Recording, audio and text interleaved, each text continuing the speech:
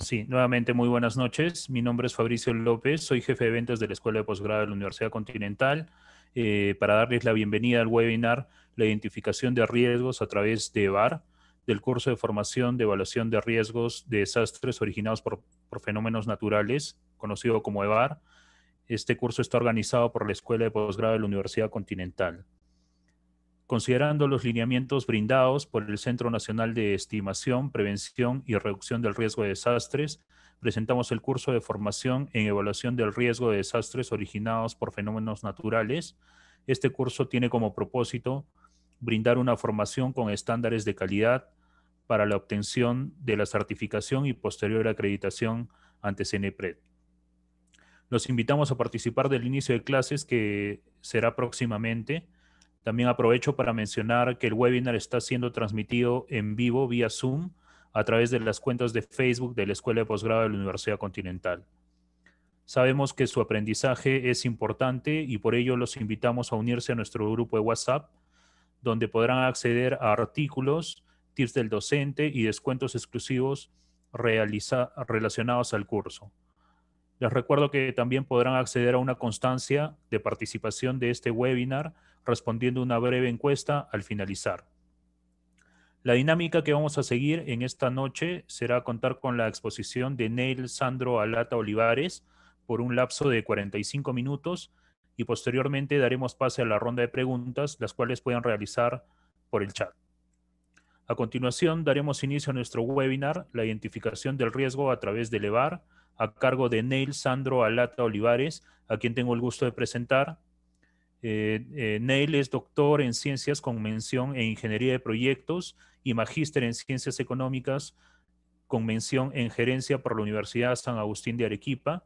Es ingeniero zootecnista por la Universidad Nacional Agraria de La Molina, experto en sistemas de seguridad, salud en el trabajo, especialista en prevención del riesgo de desastres por NDTI de Corea del Sur, es formador de evaluadores de riesgos de desastres acreditado por CENEPRED y docente de la Escuela de Posgrado de la Universidad Continental.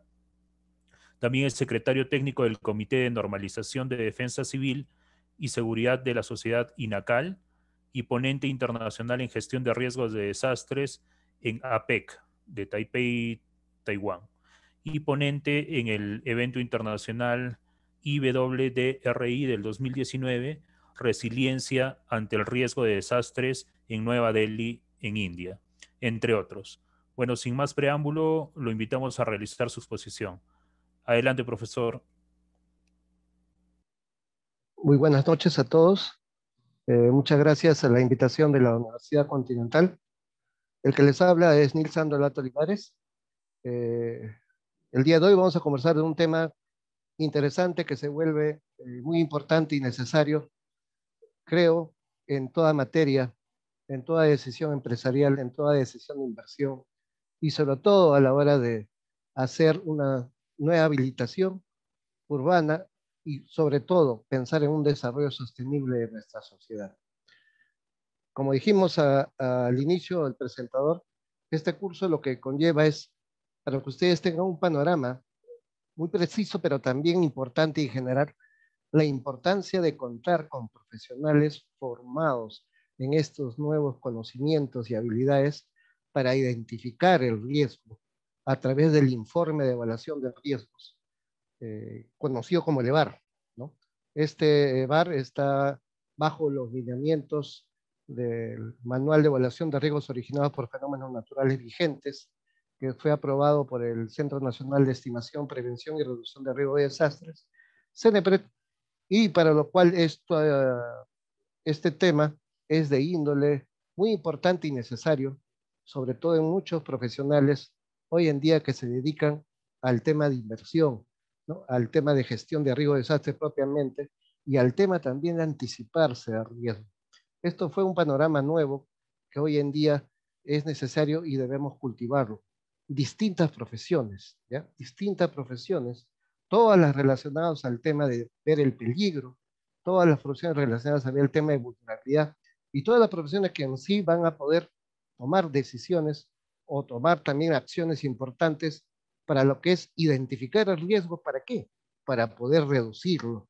o también para poder prevenir ese riesgo de desastres, que en este caso, en estos cursos, nos vamos a precisar a lo que es a los riesgos originados por fenómenos naturales. Muy bien. Vamos a la siguiente diapositiva. Vamos a compartir la pantalla, por favor. Que me permitan compartir, por favor, la pantalla. Ya, ahora sí. Muy bien. La identificación de riesgo a través de elevar. Elevar es la forma cliché, ¿no? Que lo conocen, este importante instrumento de evaluación de riesgo de desastres, caracterizado porque nuestros estudios a través de esto son cada vez más técnicos basados en información técnica científica y sobre todo la escala de trabajo es bastante a detalle, a diferencia de otros estudios que también son muy buenos, pero lamentablemente la escala, la visión de trabajo es gruesa, es gruesa que a veces no podemos identificar el punto crítico y dar la solución o la probable alternativa de prevenir o reducir el riesgo en ese punto. Tanto así fue la preocupación, estimados participantes, que ustedes habrán tenido noticias en el fenómeno del niño costero, marzo del 2017. ¿no? Solamente una semana que llovió fuerte en nuestro país. Estamos hablando entre el 14 de marzo hasta el 21 22 de marzo. Lo increíble que el 70%, el 70% de los daños ocurridos fueron a infraestructura nueva. increíble. La infraestructura nueva, estamos hablando de carreteras, puentes, ¿no? canales de riego, obras públicas, fueron destruidas ¿no? por el niño costero. Ni siquiera fueron las obras antiguas. Las obras antiguas prácticamente estaban intactas. ¿Qué pasó ahí? O sea, ¿qué pasó? O sea, entró una preocupación tan grande. Nos pudimos a cuestionar qué está pasando con la ingeniería y la arquitectura en sí. ahí nos dimos cuenta que probablemente, probablemente se hacían estos proyectos, obras, sin ni siquiera saber en el punto geográfico que se va a hacer, si por ahí pasaba anteriormente un flujo de detritos, más conocido como huaico, si por ahí pasaba una inundación, si por ahí pasaba un deslizamiento, un derrumbe, un hundimiento de terreno, no puede ser que se haga obras sin saber al menos qué peligro de origen natural podría pasar, que ha pasado o después de tanto tiempo no ha pasado. ¿Ya? Eso es importante hoy en día que todos los profesionales conozcan estos instrumentos para identificar el riesgo en puntos críticos y tomar acciones sumamente preventivas, por si existía riesgo ya corregirlo, pero antes de que suceda, señores. Generalmente nosotros, como profesionales, incluyo, antes que conozca bien este tema, solamente nos dedicamos a esperar que pase el desastre y ahí estar muy preparado, ¿no? cómo responderlo, ¿no? Cómo poder rehabilitar la carretera, cómo poner un nuevo puente Bailey y solucionar el tema, cómo darle un nuevo módulo de vivienda a las casas afectadas. Y de eso no se trata la gestión de riesgo. Esa es la gestión de riesgo solamente una parte, es la gestión reactiva. Pero la gestión prospectiva, lo que es la planificación antes de riesgo, eso es las características que el evaluador de riesgos, ¿no? formado y acreditado, de acuerdo a haber aprobado este curso y haber demostrado también a través de un pequeño trabajo los conocimientos y habilidades, pueden ser presentados por la universidad y se le evalúa la posibilidad de acreditar los evaluadores de riesgos. Y el evaluador de riesgos tiene la función de hacer esa actividad no solamente a nivel departamental, sino a nivel nacional. Miren, vamos entrando poco a poco al tema. Esta foto me recuerda, no es de este año, ¿eh? esta ha sido hace años que hubo unas lluvias intensas. Este frente a la Universidad Nacional de San Agustín de Arequipa. Ahí estudié, como que he trabajado eh, casi 20 años en el proyecto especial Majes Siguas, desierto, 1400 metros, sino que las oficinas que quedaban acá en Arequipa y aproveché estudiar mi maestría y doctorado con todas las tesis convenientes. Veo esta foto, yo ya estaba aquí en Lima, no es posible que se, esta torrentera que está en la avenida Venezuela, que conocerán, con un poco más de lluvia no puede ser pues que carcoma, miren, cómo carcome ahí la obra nueva, ¿ven? Cómo genera una carca, ¿ven? Cómo erosiona la, la pista, la carretera, genera un caos y ahí hubo muertos, ¿no? Hubo muertos con los estos autos, taxis que se volcaron y la gente no pudo salir. Pese a que es una torrentera, Arequipa tú sabes que pasa muchas torrenteras por la parte urbana y desembocan muchas de ellas al río Chile, Chile. Todas estas nacen de las alturas del volcán. ¿Cómo puedo corregir este riesgo? O sea, si yo sé que va a venir lluvias intensas, ¿qué medidas preventivas puedo hacer para reducir el riesgo otra vez que vuelva a y no pase esto? Y esto es una zona urbana, colegas. Imagínense que sea una zona rural, que todavía no hay toda esta modernidad. Pero sin embargo, esto, el, evaluador de riesgos tiene que simular, o sea, hacer un escenario previo para poder identificar y recopilar toda la información de un punto geográfico. Yo digo con la experiencia del caso, le digo el GRD, ¿no? Para conocer GRD hay que ubicarse primero. Si no te ubicas, vamos a estar hablando de cualquier lugar menos del lugar de importancia. Coordenadas del lugar. Coordenadas y ahí empezar a recopilar información de toda la que existiese, de las instituciones técnicas científicas, INGEME, INGP, SENAM, el ANA, las que sean por convenientes, ¿no? También de los de antiguos estudios, ¿no? De peligros, de evaluaciones de riesgo o estudios de riesgos antiguos. ¿Para qué? Para poder determinar qué elementos importantes y poder identificar y caracterizar el peligro. Miren, este, esta, este desborde o flujo de torrenteras. Miren técnicamente cómo habla un técnico. Este flujo de torrenteras, señores, ¿cómo es? Pequeñito, grandote, súper grandote, terrible. Esa es la forma técnica que un profesional puede generar una forma de medir un peligro. No, señores. Aquí hay que determinar un parámetro de evaluación. Hay que tomar la velocidad del flujo, la altura del flujo, ¿no? la consistencia del flujo. Estos habla un evaluador de riesgo, una persona que conoce el peligro. Y frente a eso hay que evitar otros factores también que conllevan que este peligro sea cada vez de un nivel, digamos, más agresivo. ¿no? Recuerden que el peligro es una probabilidad ¿eh? que ocurra. Ver qué factores del territorio que ven ustedes ahí condicionan a que se presente este peligro. Estamos hablando ahí, la pendiente del terreno, por ejemplo, ¿no? el tipo de suelo, el tipo de unidad geológica, geomorfológica, etcétera. ¿no? Pero todos esos elementos, colegas, hay que verlo a una escala local, ya no una escala así a nivel cuenca, no a nivel macro. Si Arequipa lo ven así a nivel macro, no van a ver este punto crítico, ni los demás puntos críticos que hay en Arequipa, ni en cualquier departamento, colegas. Esa es la diferencia del evaluador de riesgos. El evaluador de riesgos ve los peligros, por escenario, cada uno separado, busca información para determinar los parámetros de evaluación, ve en campo y determina los factores condicionantes que puedan contribuir al, al peligro y algo más importante, el factor que desencadena el peligro. En este caso, pues la precipitación o umbral de precipitación. Es conocido, y ustedes sabrán por lógica, una lluvia, por ejemplo, extrema, extremadamente lluviosa para esta zona, de acuerdo al, un ejemplo, de acuerdo a la estación de Senami, con información de 30 años, puede ser que la lluvia mayores de 60 milímetros por día, lluvias absolutas, sea la más extrema. Y le pregunto a todos, una lluvia de 60 milímetros extrema, ¿será igual el mapa de peligro a una lluvia de 30? ¿Qué dicen colegas? Y hay algunos que dicen que no, no interesa medir el desencadenante, así nomás. Hay que decir que una lluvia intensa y el, el área de peligro es la misma. Falso, totalmente falso. ¿Ya? El factor desencadenante es el más influyente en que te define el escenario del mapa de peligro, ¿no? El escenario probable, ¿no?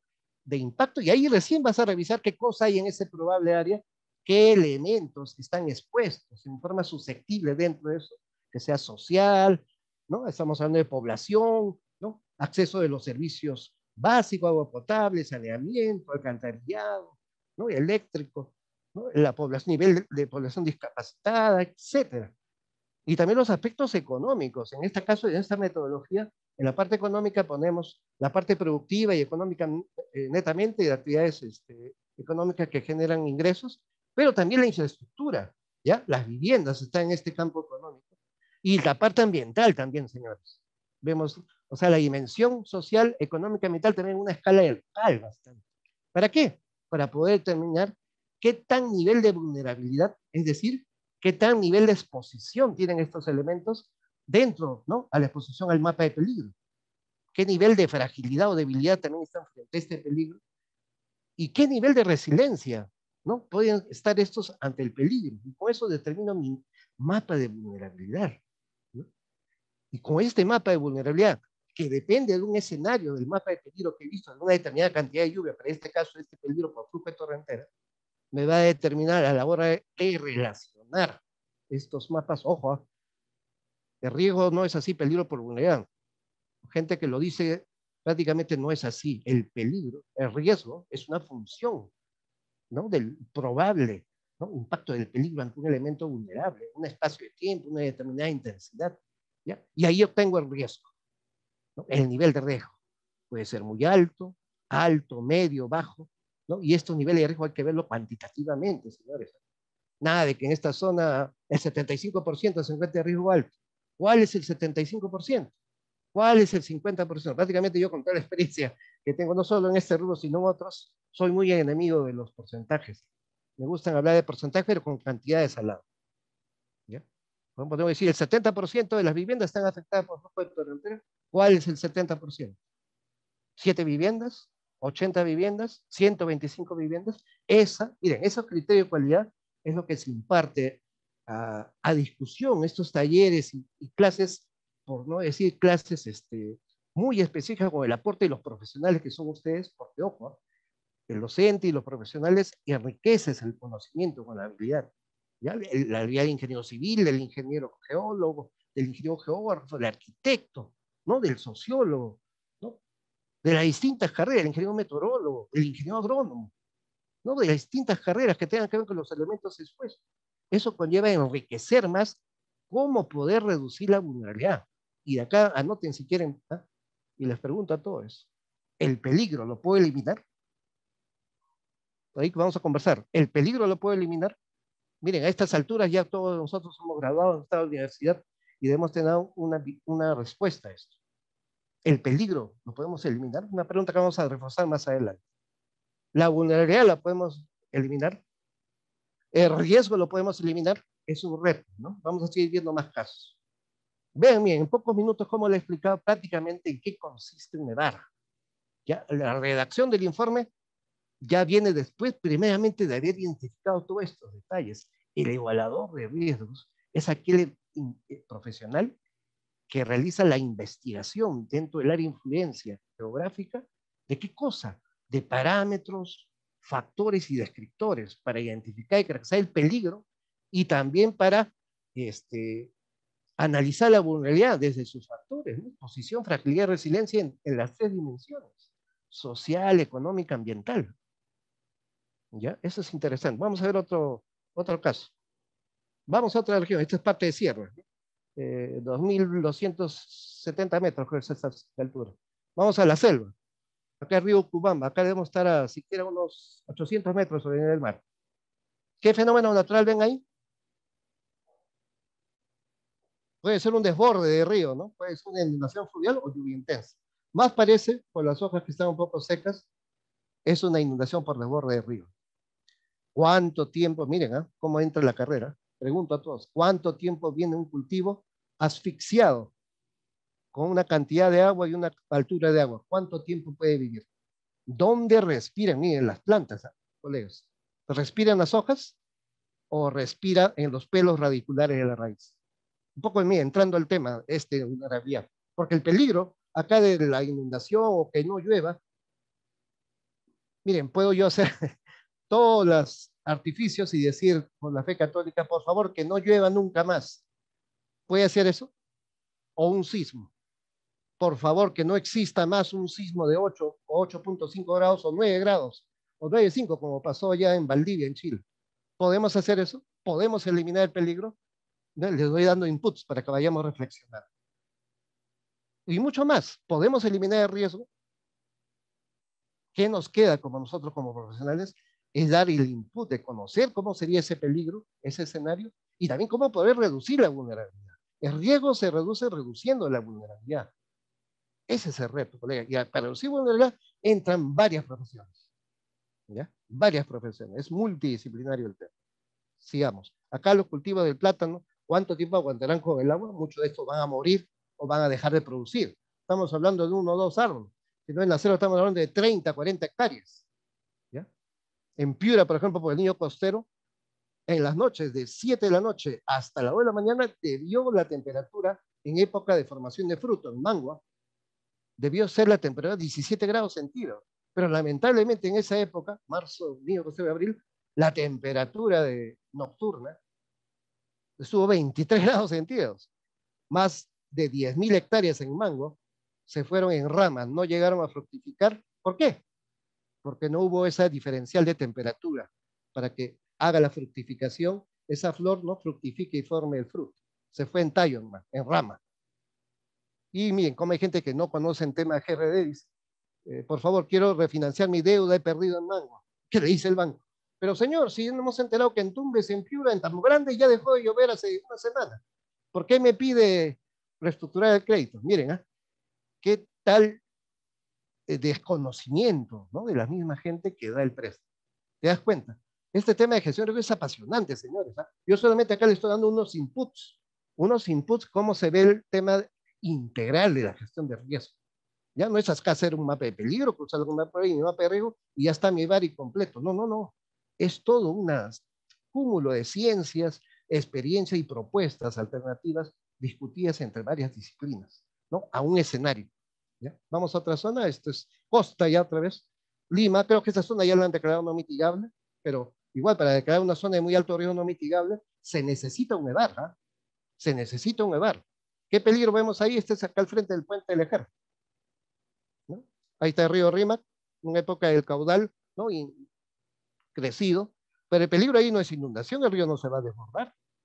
Va a golpear un caudal anómalo del río, ¿no? A la, parte ¿no? lateral ahí de la parte generando una erosión fluvial. O sea, el peligro ya es de condición hidrometeorológica. Es una erosión fluvial. ¿De qué magnitud? Ajá, ahí viene el detalle. ¿De qué magnitud? Ya ahí viene la capacidad del evaluador de demostrar. ¿Cuál es mi mapa de peligro por erosión fluvial? ¿Cuál sería el pronóstico de casas que se podían derrumbar? Ahí caer al caos. ¿ven? Y ahí se ve la vulnerabilidad, miren. Prácticamente en la parte social, ahí vienen esos tubitos. ¿Tienen o no tienen agua de servicio alcantarillado? Ahí lo ven. No lo tienen. Todo esto va a una contaminación al río. Va a un tema de fragilidad ambiental, un parámetro importante, y la disposición de residuos líquidos. Y los sólidos, ¿dónde creen? ¿Cree que esta gente agarre su basura, agarre bien con su bolsa, tome un taxi, un mototaxi y vayan a dejarlo al contenedor municipal o lo tiran al río? ¿Qué dicen, colegas? Y esto no solo pasa en Lima, en todo el Perú. ¿eh? Gente que vive en las quebradas, en esta zona, a veces le falta un poco de capacitación en los temas de resiliencia. Este es un gran problema ¿eh? social que existe. El peligro está latente ahí porque la gente está mal o no sabía, el río de repente antes no, no había carcomido tan, estas cárcamas por erosión, pero ahí vemos, hay que tomar una acción, ¿no? una decisión. Para eso es importante, coordenadas del lugar, información, cómo fue el caudal del río, desde cuándo empezó a erosionarse, qué elementos están expuestos dentro del mapa de peligro, qué población hay, cuántas viviendas, qué material, ingresos, nivel de acceso a servicios básicos, etc. Bien, todas esas cualidades conjuntas sirven para tomar una decisión y determinar la identificación de riesgo a través del EVAR. ¿Con qué fines? De poder reducir o prevenir riesgo. Esto es lo que le hablaba. Esta, la fórmula está en el lineamiento técnico de estimación de riesgo. ¿Ya? Esto es lo que está normado de acuerdo a la ley de SINAGER. ¿Ya? De SINAGER que ya cumplió 10 años. Muy importante también el reto que vienen haciendo los sectores, estamos hablando de ministerios, entidades públicas, gobiernos regionales y locales, los evaluadores de riesgo también actuales vienen haciendo una noble misión, pero este concepto básico hay que tenerlo claro, por favor. Y a todos les pregunto, acá es riesgo, ven igual una F, ¿no? Lo que ya estamos yo a la universidad, digamos, estamos en los primeros ciclos, matemática 1, matemática 2, esta F, ¿qué, ¿qué simboliza? ¿Es una línea? ¿Es una derivada o una doble derivada? Ah, muy bien. Es una derivada, es un área, pues. El riesgo es igual a la función probable, ¿no? a la función probable de impacto de un peligro, un área, un espacio geográfico donde hay elementos vulnerables. ¿Pero cuándo? En un momento, ¿no? en un espacio, a una determinada intensidad. Ese es el concepto de riesgo. El riesgo no es peligro por vulnerabilidad. ¿ya? El riesgo es la función probable ¿no? del peligro que pueda afectar un elemento probable, un elemento vulnerable dentro de su área. Entonces, rápidamente el peligro para avanzar y también dejarle espacio para algunas consultas, preguntas y un conversatorio al final. El peligro ya hemos dicho que es una probabilidad. ¿Cuál es la unidad de medida del peligro? A ver, poco de input a todos los colegas. ¿Cuál es la unidad de medida del peligro? De origen natural. A ver, colegas. Oye, pásame un kilo de peligro. Pásame un metro de peligro. Pásame un kilómetro de peligro. No, no, el peligro no tiene unidad, es adimensional, porque es una probabilidad. ¿Ya? Acá está la clasificación que está en el manual de evaluación de riesgos vigente que aprobó el CNPRED. Lo pueden encontrar ustedes en, su, ¿no? en las páginas institucionales de esa institución. La clasificación de peligros, ¿no? los tiene así, dos grandes grupos, originados por fenómenos naturales, arriba, y los originados o inducidos por la acción humana, abajo. Los por fenómenos naturales, lo que esto conlleva en el curso. Conocer, identificar, caracterizar, ver las casuísticas, talleres, casos, cómo son los fenómenos generados por geométrica interna. Pregunto yo, los sismos, un sismo de 8 grados que sea en Lima, ¿será igual el impacto que es originado por subducción de placa de Nazca con la sudamericana, a un sismo de, también de 8 grados, que puede ser por una reactivación de la falla Tamomachay en ya en el, centro de Cusco, casco urbano. Dígame, ¿el impacto será el mismo? ¿Qué diga? ¿El nivel de daños, el nivel de, de riesgo será el mismo? Uno dice, ¿va a ser igual? Sí, no. Depende, pues, de la intensidad y magnitud del peligro. Y depende también de los elementos vulnerables que están dentro de esa área. ¿Ven? Lo mismo va a ser para una inundación una inundación en costa, como hablado siempre con muchos colegas. Oye, ¿cómo me pones factores encadenantes de inundación en el río Mala? Me pones precipitación. ¿Acaso llueve en Mala? No, pero profesor, en la cuenca arriba llueve. Oye, ya está bien, pero sácame las correntías. Lo que genera un desborde la costa de una inundación no es una lluvia intensa. ¿Acaso hay lluvia intensa en Lima? Es un incremento anómalo del caudal producto de las lluvias en la cuenca arriba o cuenca en medio. ¿Cuál me vas a hacer a mapear? ¿Me vas a cruzar los mapas? ¿Un mapa de lluvia o un mapa de incremento del caudal? Vean ¿eh? ese criterio, colegas. ¿Ya? Eso es la diferencia de un evaluador que tiene bien plantado bien el criterio, cómo se caracteriza y identifica el peligro. Y si se ha identificado caracterizado bien el peligro a un determinado escenario, la vulnerabilidad y riesgo va a ser lógicamente correcta. Pero si el peligro está mal formulado, están mal planteados los, los parámetros de evaluación, los factores condicionales y desencadenantes están en desorden esos descriptores, va a estar mal el mapa y lo demás no tiene relación. ¿eh? Es importante. Entonces, los peligros generados por dinámica externa también tenemos muchos. En interna hemos dicho, ahí están los sismos, ¿no? las erupciones volcánicas, todos los peligros asociados al volcán, los tsunamis, en dinámica interna y externa es amplio que tenemos en el país. Flujo de detrito, flujo de lodos, ¿no? rectaciones, deslizamiento de tierra, derrumbes, caídas de rocas y un sinfín, que eso lo van a ver ustedes cuando ya entren al curso ¿no? de mayor precisión. Y los generados por hidrometeorología, los generados por fenómenos son los más grandes en el país. El fenómeno más recurrente en el país es, ya es las lluvias intensas. ¿ah? Ese es el más recurrente en todo el país. Y oceanográficos también tenemos, ¿no? Altura ¿no? este, oleajes anómalos y los peligros inducidos por la acción humana, que no es menester del curso, pero conocer, ahí están los peligros de origen físico, químicos, y lo biológico, que es uno que estamos conviviendo ahorita, ¿no? Las epidemias, las pandemias, el COVID-19 está en este caso, peligros biológicos. Ahí tienen todo el sinfín, ¿no? Ahí dejo la presentación para, ¿no? para que vean. Esto está en el manual también, todo el sinfín de fenómenos que existen, ¿no? De acuerdo al tipo de peligro Geométrica interna, ahí tengo mira, sismos, tsunamis, maremoto, volcanismo. Ojo, con el criterio. Estos sismos, tsunamis y maremoto dependen cada uno de un escenario. ¿eh? Depende del área geográfica, depende del contexto, depende del lugar. Un tsunami en la costa, en la punta, va a ser diferente a un tsunami en Punta Negra, en Chimbote, en Paita, ¿ya? o en Salaverry. Uno dice, no, profesor, que es lo mismo. No, no. Eso puede depender de muchas condiciones. ¿Ya?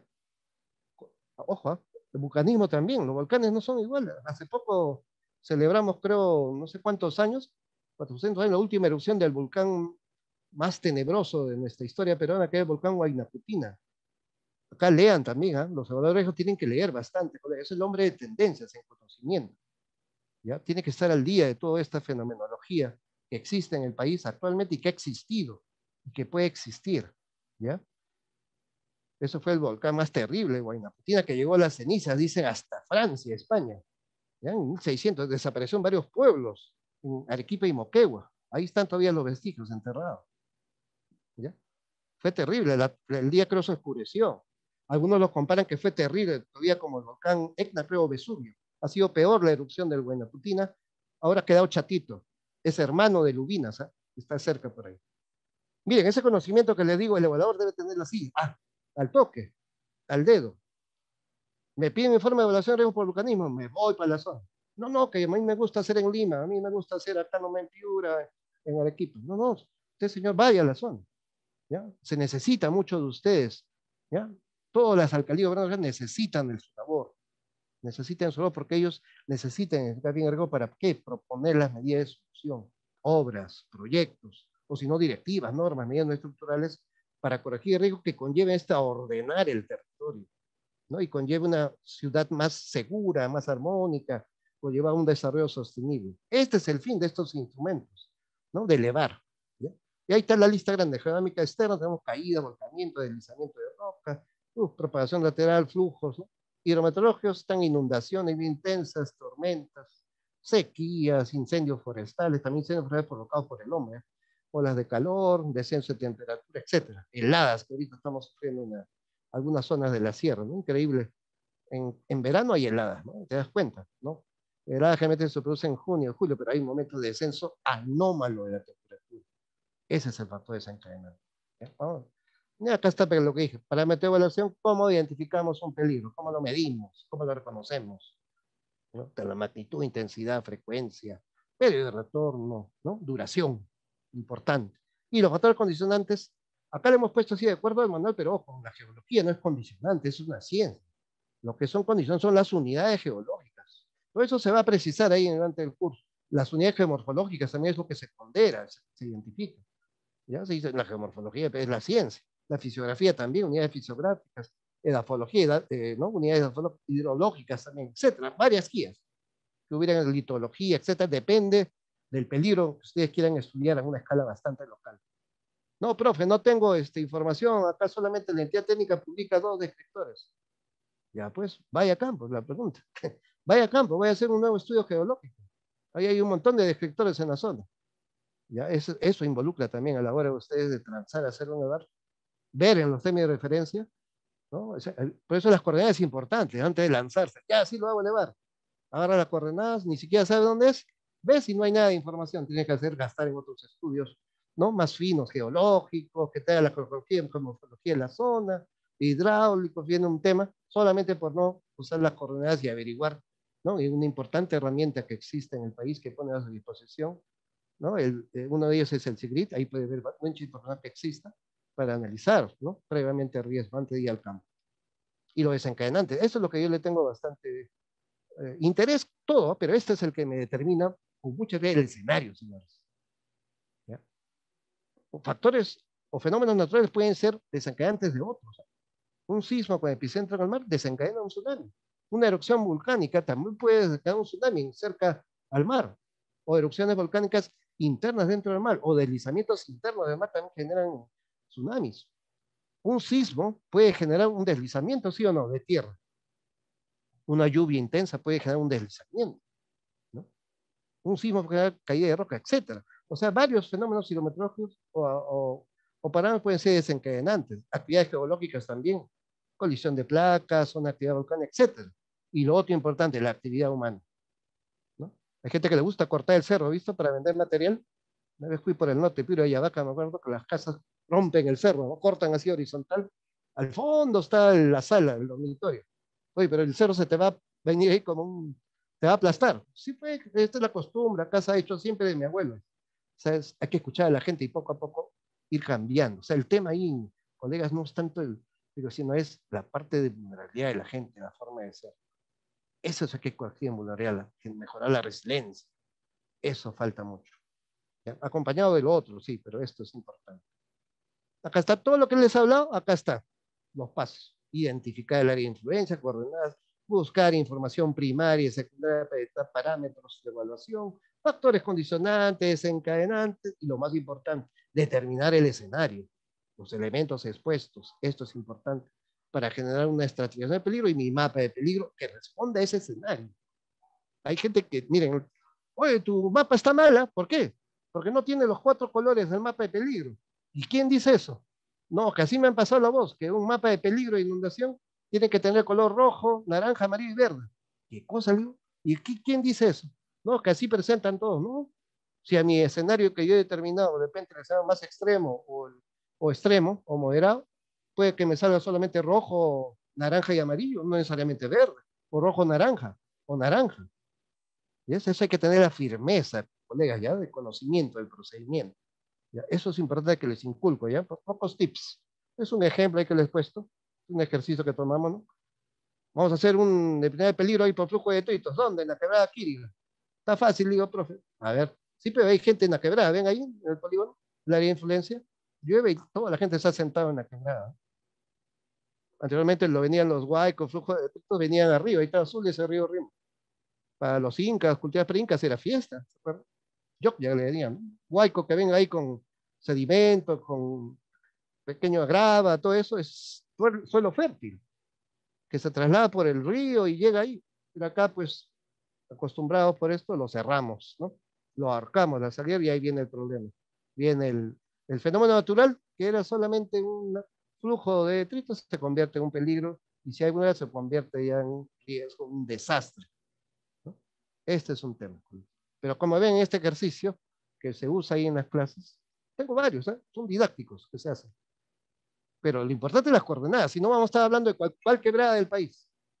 No, que el Huayco allá en Piura es así, que en Tacna es así. No, no, pues señor. Estamos hablando de Quirio, Macho, Tosica.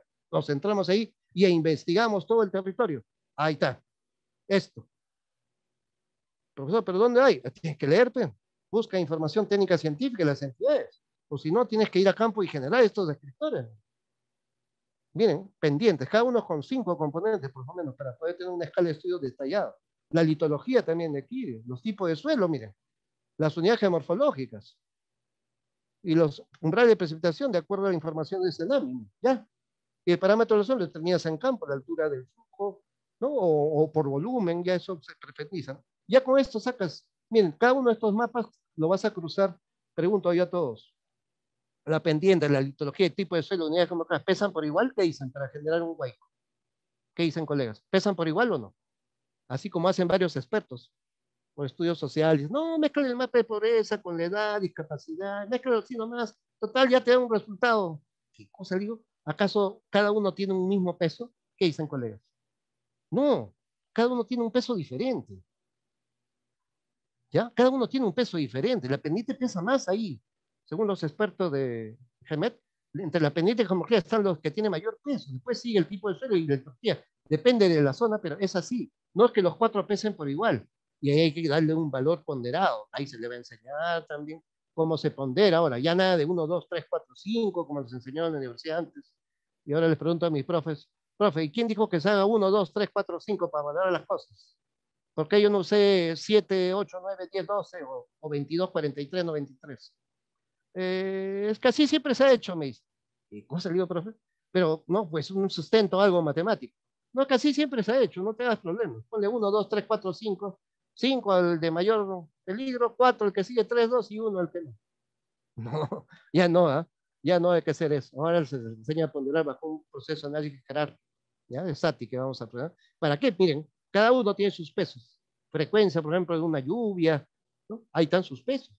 Los escritores son dados siempre desde el más influyente. La pendiente también, la más plana va a ser en este caso que tenga mayor peso, la unidad geológica como la precipitación, sacas tus cinco valores y sacas tus cuatro rangos para del 100 pintar el mapa.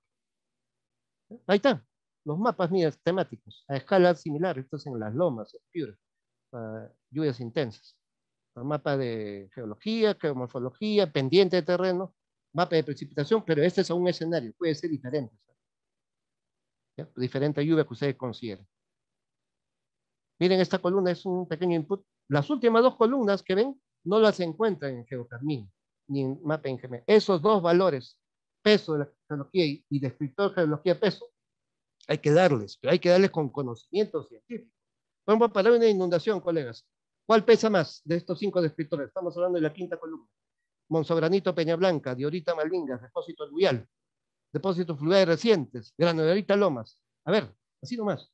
No, profe, no sé, déjeme leer. Ya, eso es. Pues, tienes que leer, investigar, consultar en general. Ah, ya. ¿Sabes qué? El depósito de tubería es el de donde se va a empozar el agua. Ah, ya. Entonces, mira a la derecha, el último, tiene el mayor peso. 0,455. ¿Ves? Y el que tiene menos influencia, el 0,55, gran Así se trabaja un evaluador de riesgos. No se preocupen que el abogado tiene que saber GIS, no, no. O sea, el abogado tiene que dirigir al equipo a un GIS. El GIS te puede hacer todo eso, pero ¿qué peso le pongo? Te va a decir ingeniero. Ponle este peso. Ya no es que el GIS te va a hacer y te va a cruzar, no, no. Tú tienes que decirle cuál es el descriptor que tiene mayor influencia. Acá lo que estamos hablando. Acá, acá. ¿Cuál es el descriptor que más influye para que sea el peligro? Empiece con fuerza el white. Así tienes que darle el orden. Y ahí pesas. Igual para la geomorfología lo mismo, ¿no? Para la pendiente lo mismo, para el desengrante lo mismo, para determinar mi mapa de peligro, la zona azul. ¿Dónde yo voy a hacer vulnerabilidad? Algunos evaluadores me llaman, profe, ¿qué? Voy a hacer una evaluación de riesgo para la municipalidad, pero me piden para hacer para obra de saneamiento, agua, agua potable y una proyección de tuberías y el petar. Ah, ya. Profe, tengo que levantar vulnerabilidad a toda la ciudad. ¿No te acuerdas en clase? ¿Cómo vas a levantarme a toda la ciudad?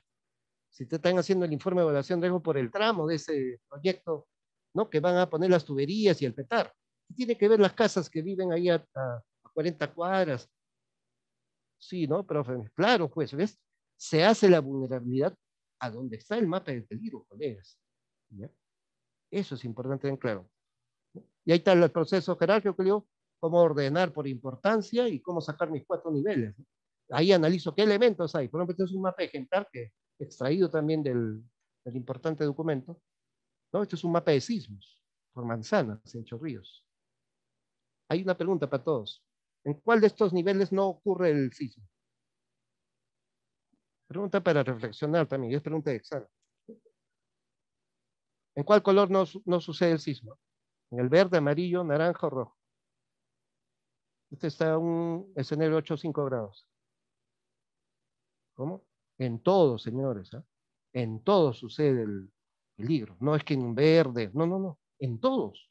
Sino que las condiciones de suelo y otras condiciones más son diferentes. Donde haber mayor aceleración sísmica, ¿no? De acuerdo a esto. Pero ya ese criterio lo vamos a ir viendo. Después de eso, veo que vulnerable. ¿Cómo están las casas? cómo están los servicios de saneamiento, cómo es el conocimiento de la gente, conoce su ruta de evacuación, se capacita en GRD, es positiva, tiene ingresos, sus casas estipuladas, material de la pared es acorde, han respetado los reglamentos de edificaciones, etcétera, etcétera. Son parámetros que vamos viendo, que se agrupan en exposición, fragilidad y resiliencia. ¿No? Ahí está, visitas de campo tiene que hacer. Oye, miren, la casa, el primer piso es de adobe y el segundo de ladrillo. Oye, mire, el techo, si es lluvia, mire, ¿cómo puede ser este techo? Tiene que tener una ligera, no hay cunetas, ¿no? Etcétera, cosas así, no tienen servicio de agua potable, está en bajada la casa, bueno, cosas así. Y esto, miren, este es un contexto, hace poco no en COVID. ¿Qué peligro ven ahí al toque? Ya le dije, COVID, ¿no? Pero otro que suceda, sin respetar distanciamiento, todo el caos de eso. ¿Qué pasa si sucede un sismo, señores? ¿A dónde va a bajar la gente? Sí, arriba nomás de 7.5 grados u Ahí va a haber con seguridad gente que se va a pisonar, va a haber heridos, posiblemente muertos, no van a evacuar. ¿Dónde van a evacuar? Incendio, cualquiera, miren, todo es un tema ahí. El tema del peligro, el sismo no es el problema. El problema es la educación de la gente. ¿ya? El tema de vulnerabilidad, posición. Este es el tema de COVID también. Recién la gente está aprendiendo, tiene que salir el gobierno local, el sector, hacer las pruebas, a educar a la gente, oye, por favor, respete el. ¿Qué es eso, no? Fuerzas Armadas. Cuando esa resiliencia debe nacer desde el hogar, desde la casa. Eso es reducir vulnerabilidad. Y esto nos conlleva esto, señores. Vamos a vivir así ya. Miren, trabajo, el distanciamiento, su mampara, bien protegido de COVID, no parar la economía, pero debe ser diferente. ¿Ya? No, que no tiene nada que ver el COVID con el bar, ¿cómo que no tiene que ver? tiene que ver, porque es actividades productivas, ¿no? Este es el tema de vulnerabilidad, ya estamos finalizando con la pregunta, disculpa. Estos son los rangos, acá está la certificación, acá está mi mapa de vulnerabilidad, vuelvo a riesgo, ahí recién relación de peligro con la vulnerabilidad, y saco mi mapa de nivel de riesgo, que es la conjunción de los dos mapas, más un análisis importante de riesgo que tenían para reducirlo, y también algo importante, y acá hay varios mapas de riesgo para zonificar el riesgo. Ya es un tema importante a la hora del planificador del territorio. Oye, cuidado acá, este, acá hay un riesgo para tal, no habilites en esta zona, ponte a un costado. Ya ese es un de riesgo en cualquier ámbito. Muchas gracias. Disculpa, a ver si paso al segmento de preguntas. Espero que, se haya entendido. Sí, muchas gracias, doctor Neil, por esta exposición tan interesante. Eh, a continuación, por favor, pasamos a la ronda de preguntas. Los invitamos a los participantes a realizar sus consultas por escrito por el chat. Ahora sí puedo, ahí los comentarios, los preguntas de acá del chat, ¿puedo leerlo o me lo lee usted, eh, señor moderador? Sí, a ver, nos está llegando una pregunta de Guillermo Cuenca. Dice, a ver, ¿por qué si al principio se habló de peligro como una cualidad? Es decir, ¿de qué tipo son los cualitativos? Y después nos habló de los peligros y les da carácter cuantitativo, muy alto o bajo. ¿No existe riesgo cero? Eso es lo que Así es. Así es. Una buena respuesta. El riesgo cero no existe. ¿Por qué? Hagamos un ejemplo muy claro, colegas. El, un probable sismo terremoto en las ciudades principales del Perú, de 8 grados nomás. Lima, Piura, Arequipa, Iquitos, Moquegua, Tacna, Cusco. Dígame, ese peligro ¿eh? del sismo de 8 grados, ¿lo podemos eliminar? ¿Qué dicen, colegas? Así, con toda la fe que yo respeto, mi fe católica, decía Dios, por favor, que la Tierra nunca más genere una, eh, eh, un movimiento tectónico o activación de fallas y no genere un sismo de 8 grados. ¿Lo podemos eliminar o no? Jamás, ¿no? Va a venir. Pero la vulnerabilidad, sí, la vulnerabilidad sí. ¿Sabes qué? Puede venir un sismo de esta magnitud. Oye, ¿sabes qué? Tus casas que estás haciendo no están respetando las normas. No, yo no tengo ingresos. Entonces el alcalde tiene que generar un programa de mejoramiento de viviendas, ruta de evacuación, hacer casas tipo resistentes, obras públicas resistentes, y así venga el de 8 grados, no le va a impactar mucho. Y acá tomo las palabras del doctor Tavera, que siempre me decía, y lo dice hasta ahorita, los terremotos no tienen por qué matar gente, lo que mata son las viviendas o infraestructura mal hecha. Eso es lo que mata, incluyendo los virus, todo ese tema, ¿no? Los virus que también pueden eclosionar y generar. Ya, eso es, colega. Lo que, ¿ya? Y el peligro, le decía, el peligro es una probabilidad, no lo podemos cuantificar, es una probabilidad, es adimensional, pero sí podemos determinar su nivel. O sea, sabemos que en esta zona el nivel de peligro ante inundación es alto. ¿Por qué? Hoy porque el suelo no es bastante retentivo de agua, la pendiente es bien plana, está por debajo del nivel del río. ¿no? Y está cerca o está en plena zona de faja marginal. Entonces el nivel de peligro es muy alto si es que el caudal del río incrementa anómalamente o el tirante del río incrementa en un escenario, puede desbordarse y ocasionar inundaciones. ¿Ya, colegas? En nuestro país hay inundaciones, pues, dos, tres metros de altura. Lean un poco. Cambio, Paraguay Uruguay es de nueve, diez metros de altura. es una piscina, ya pues, terrible y por meses. ¿ah? Acá nomás nos falta, miren, ¿ah? hablando acá hay mucho problema que he visto acá, forzar todas estas y eh, avanzar con estos sistemas de drenaje. No es posible que cualquier inundación colapse el sistema de saneamiento, no puede ser. Colapse el sistema de saneamiento. Saben que llueve mucho.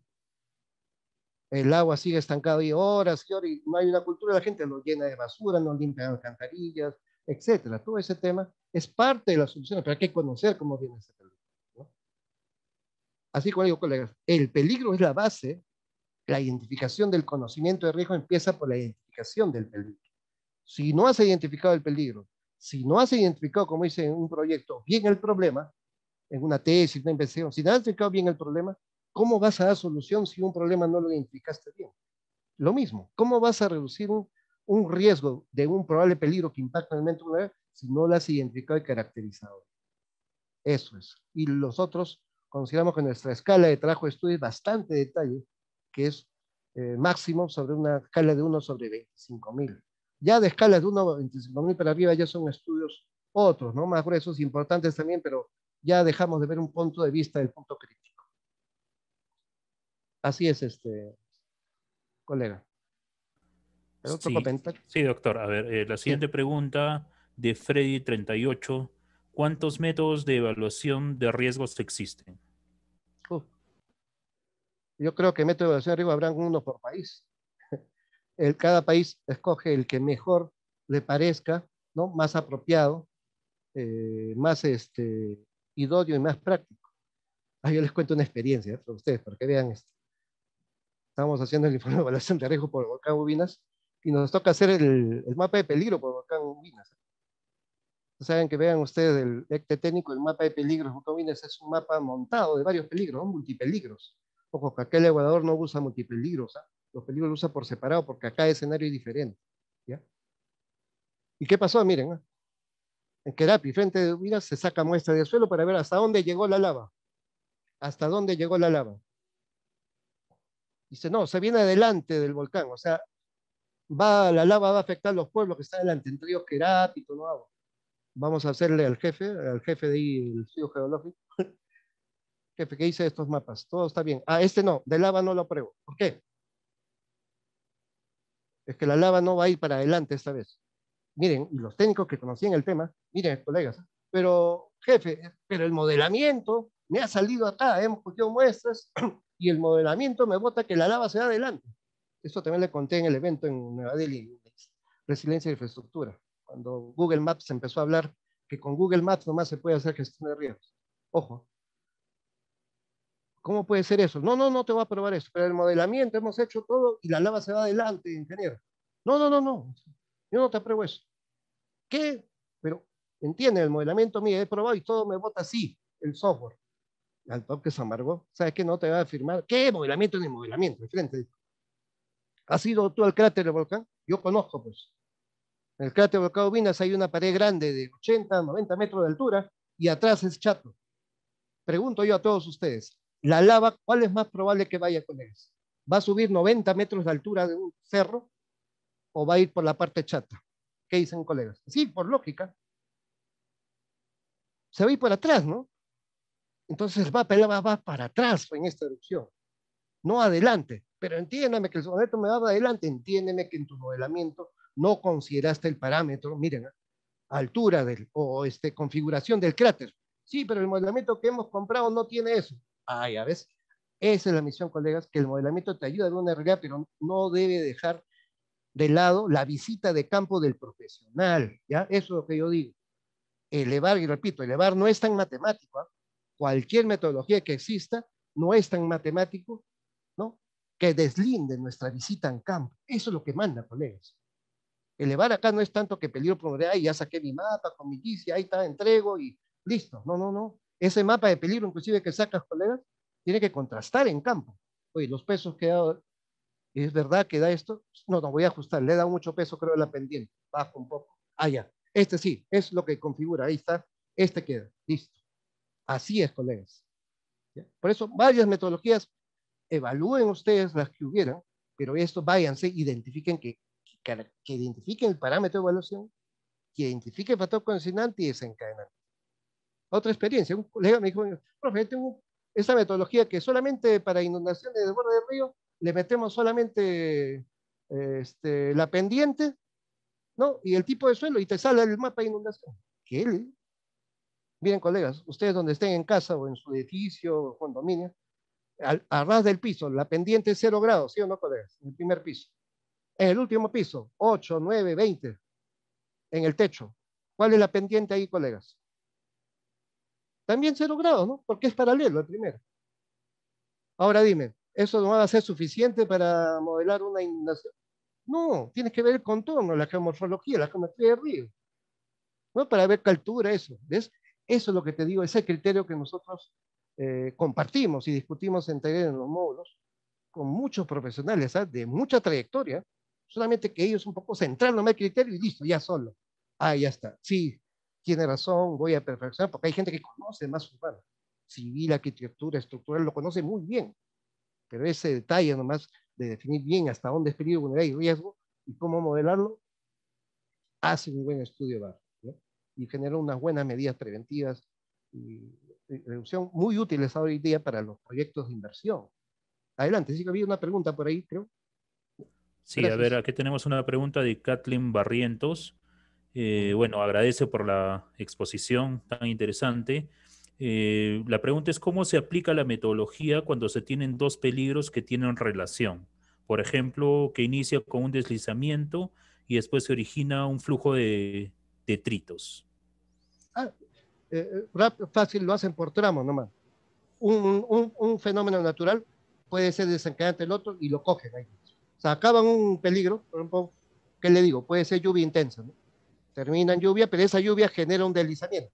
Entonces, desde ahí, la lluvia intensa pasa a ser factor desencadenante y lo consideran y sigue el mismo procedimiento. hace su mapa de deslizamiento. Es como decir un mapa de peligro en cadena, como algunos sucede. Esto les, les, les, les hago reflexionar también, colegas, ante un desagradable escenario de un sismo fuerte. Miren, se va a necesitar de ustedes, colegas, ¿eh? evaluadores. Un terrible sismo, ¿no? En ciudades bien pobladas va a haber zonas inestables al momento. ¿Quién va a evaluar esa zona que va a haber derrumbes? Imagínense la Costa Verde, un terrible sismo. ¿Se cae, no se cae? ¿Qué parte de acantilados ahí? O en las zonas adentro, que va a haber derrumbes. Tienen que hacer la evaluación al toque, rápido. ¿Por qué? Porque lo originó un sismo. También origina incendios, explosiones, otras cosas más. Pero toda esa información hay que tenerla, ¿no? A la mano y, generar rápidamente el informe, ¿no? El informe de VAR ya con esta información sucinta, entregar y tomar una decisión. ¿Ya, colegas? Esto es importante. Lo hacen por peligro separado, uno lo cogen de un mismo escenario. Pero ojo, en un mismo mapa, como se hacía antes, en un mismo mapa de riesgos, no le van a meter, pues, por ejemplo, si es rojo, ¿no? Mapa de riesgo del, de, de, este lugar, rojo. ¿Por qué rojo? Leen la literatura. Ah, no, acá hay incendios acá hay este, epidemias, acá hay también este sismo fuerte, acá de acá hay deslizamientos. ¿Qué cosa digo? ¿Y qué, cómo vas a recomendar la obra para cada uno de ellos? No, haz nomás la defensa ribereña. ¿Y para qué? Pero si, no, pues eh, ayudará para la inundación, pero también ayudará un poquito para el incendio. La defensa ayudará un poquito para la inundación, un poquito para evitar el derrumbe. ¿Te das cuenta? Ya no podemos hablar así, colegas. ¿Te das cuenta? Es por eso inclusive cuando ahora que existe este programa del FONDES, el Fondo Nacional de, ¿no? de hoy atención de, ¿no? de desastres, que también tiene un tema ahí de mitigación, reducción de riesgo, aparte de la parte reactiva, necesita este informe de VAR para justificar si es necesario no que un alcalde se le dé el financiamiento para levantar o a, viabilizar el proyecto de inversión para una defensa ribereña, un dique, un disipador de energía. Si no lo demuestra todavía de VAR, ¿Cómo va a justificar que necesite el proyecto? Eso es. ¿Ya, colega? Por eso muchos dicen, no, miren, acá te mando la foto de lo que pasó el desastre. ¿Y qué me hago con eso? Eso puede haber pasado un, un escenario fortuito. Quiero que me des el informe técnico, científico, que es un EDAR, que me demuestre cómo caracterizan el peligro, con información técnica científica de las entidades, cómo me mapean, cómo me ponderan, cómo ponen su justificación, el escenario para determinar cómo está el peligro y cómo puede estar la unidad y riesgo y cómo esto conlleva la decisión de financiar ese proyecto. Así es, colegas. ¿ah? No estoy hablando solamente del sector público. ¿eh? Imagínense, en el sector privado también la gama de oportunidades es más grande ¿ya? Más grande. Entre privados se compiten, ¿no? Oye, ¿tú has hecho bar? Sí. Mira, tú no has hecho, ¿eh? yo te gané. Supermercado tal, empresa privada, empresa de petróleo, etcétera. Les doy una gama. O sea, este tema es importante no es porque es la moda, sino porque al menos te asegura que si viene un fenómeno tal, ya estás al método advertido, ¿no? Oye, haz tu obra acá con cuidado porque de venir un derrumbe te va a llevar toda la obra. Haz una protección, haz acá esto, ponte de este lado, algo así. Igual para carreteras, para puentes, etc. Gracias. ¿Alguna pregunta más? Sí, a ver, hay una pregunta de Marco Díaz. Eh, dice, una obra en ejecución se inundó por fuertes lluvias. En cuanto pase la inundación, eh, ¿se continúa con su ejecución o se debería paralizar? Eh, no, lo más lógico que pase la lluvia, más bien ahí, al toque yo le diría a ingenieros, tendrán ahí en la clase, el ejercicio, ¿cómo solucionamos el tema? Al toque el sistema de drenaje. Esta obra tiene un sistema de drenaje para que drene las lluvias de una muy alta intensidad o una intensidad inesperada. Ojo, porque yo le digo, en Tume, por ejemplo, en otras zonas, en un día llueve lo que debió llover en un mes. ¿ah? Imagínense, colegas. Así es, ¿eh? la intensidad. Ahí tiene el sistema de drenaje o, sistema de canaletas o conducción para drenar el agua. No, no tiene el agua. Ah, hay que hacerlo. Pero ¿cómo lo haga? Ya, pues ahí está tu trabajo ingenieril. ¿no? Ahí viene justo la profesión disciplinaria. Yo soy ingeniero civil, arquitecturista. No, pero yo solo hago puentes. No, no, ahora tienes que aprender a hacer sistema de drenajes. O estudia, averigua, trabaja con profesionales. Eso es, colega. Sí se puede dar solución. Sí se puede mitigar, colegas. Todo lo que estamos hablando acá es en un modo mitigable. Pero ya cuando vemos, por ejemplo, digo, se va a desbordar el río y solamente viven cuatro casitas. Y el nivel de riesgo es muy alto. ¿ah? En ese punto A. Y un punto B, que hay 72 casas y el nivel de riesgo solamente es alto. Pero las de efectos probables en este punto B, las pérdidas son de 70 millones de soles y en la primera solamente es 50 mil soles. ¿Cuál de estas zonas yo priorizo para hacer mi defensa ribereña? Miren, por decisión gerencial, acá no tiene nada que ver el tema de CREI, de modelamientos, nada. Esa cualidad también tiene que tener el valor. ¿Por qué lado priorizo yo hacer la obra? No quiere decir que no va a ser en los dos, ¿ah? por el punto A o punto B que dicen colegas. Por el B, pues, porque va a perder más. O sea, va a perder vidas humanas, más vivienda, más infraestructura, pese al que el riesgo sea alto, no más naranja. Pero, profe, el otro está muy rojo, muy alto. Sí, pero ¿cuánto vas a perder? 10 mil soles. ¿Sabes qué? Mejor esa zona declara no mitigable. ¿Ya? Que nadie se ponga en la defensa ribereña. O sea, cerca de la faja marginal. Traslada esas casas a otra zona más segura. Zona de acogida es otra ley de saneamiento poblacional. La zona de mitigable, pero también al toque hay que tener la zona interclía, toca hacerle su bar. ¿Ya? Esas decisiones es muy bonito en los talleres, eso se comparte ahí entre los profesionales.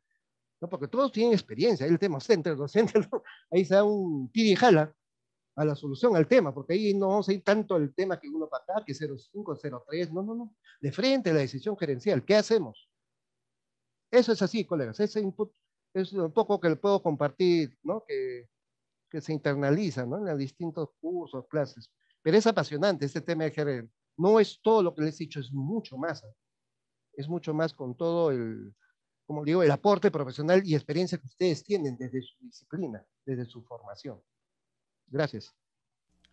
Sí, profesor, sí, hay, bueno, hay bastantes preguntas más, pero la verdad que por temas de tiempo vamos a tener que, que cortarlos. Seguramente más ampliamente vamos a ver este tema en, dentro del programa bueno, queríamos agradecer también a todos los participantes por sus eh, preguntas tan interesantes.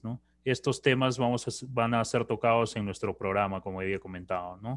Y bueno, queríamos eh, presentar un poco acerca de, nuestro, de nuestro programa, el curso de formación de evaluación de riesgo de desastres originados por fenómenos naturales. Eh, bueno, tiene una certificación al término del programa ¿no? Eh, que se otorga la, certificación en el curso de, formado, de formación en evaluación de riesgo de desastres originados por fenómenos naturales, obviamente a quienes cumplan los, eh, satisfactoriamente con las eh, exigencias académicas. ¿no? tiene que cumplir el perfil profesional y va a obtener el Registro Nacional de Acreditación por CENEPRED. La modalidad que estamos utilizando son clases a distancia en tiempo real y la duración del programa es de 160 horas lectivas. Sí, el siguiente, por favor. Eh, el plan de estudios que hemos desarrollado está, eh, bueno, agrupado en 12 módulos.